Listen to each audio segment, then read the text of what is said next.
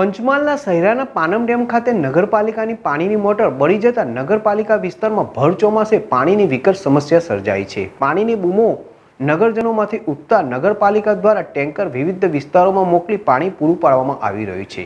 પાણીની સમસ્યાને લઈને મહિલાઓનો આક્રોશ પાલિકાના સત્તાધીશો સામે જોવા મળી રહ્યો છે. શહેરાનગરમાં ભર ચોમાસે પાણીની વિકટ સમસ્યા સર્જાઈ છે.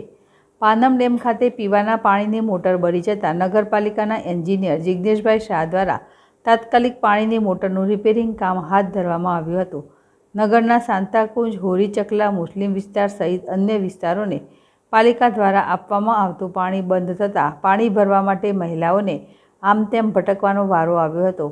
પાણીની વિકટ સમસ્યા સર્જાતા જાગૃત નાગરિકો દ્વારા નગરપાલિકા તંત્રની રજૂઆત કરી હતી, જેને લઈને નગરપાલિકાના એન્જિનિયર જિગ્નેશભાઈ શાહે પણ પાણીની બૂમો વધુ ઉઠે નહીં, તે માટે પાણીના ટેન્કર નગરના વિવિધ વિસ્તારોમાં મોકલવામાં આવી રહી હતી. પાલિકા દ્વારા મોકલવામાં આવેલા પાણીના ટેન્કરમાંથી પાણી ભરવા માટે મહિલાઓની પડાપડીના દ્રશ્યો જોવા મળી રહ્યા હતા.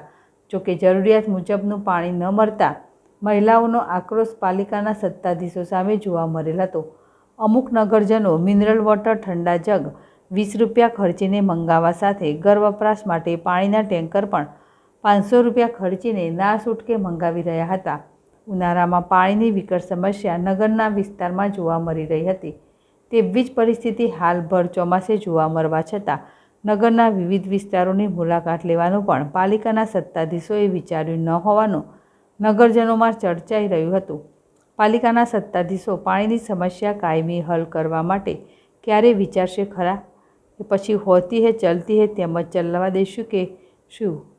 નગર વિસ્તારમાં પાણીની વિકટ ગંભીર પરિસ્થિતિ સર્જાય તે પહેલાં જિલ્લા કલેક્ટર દ્વારા આ બાબતે યોગ્ય કાર્યવાહી હાથ ધરીને નગરજનોને નિયમિત પાણી મળી રહે તે માટે નગરપાલિકાને આદેશ કરે તેવી આશા સ્થાનિક નગરજનો રાખી રહ્યા છે. પ્રિતેશ દરજી જેડ ટીવી